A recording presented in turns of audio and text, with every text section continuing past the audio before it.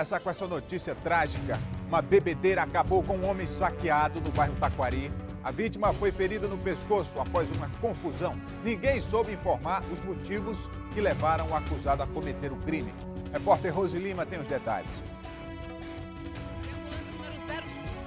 Acaba de chegar aqui na emergência do pronto-socorro com um rapaz que, segundo informações, teria sido vítima de uma tentativa de homicídio por arma branca lá na Rua do Passeio. Ele já vem saindo aqui, tem um curativo ali na altura do pescoço, mas ao que parece está consciente, também tem bastante sangue ali na perna dele. Você é parente dele, moço? Não só é morador conhecido lá.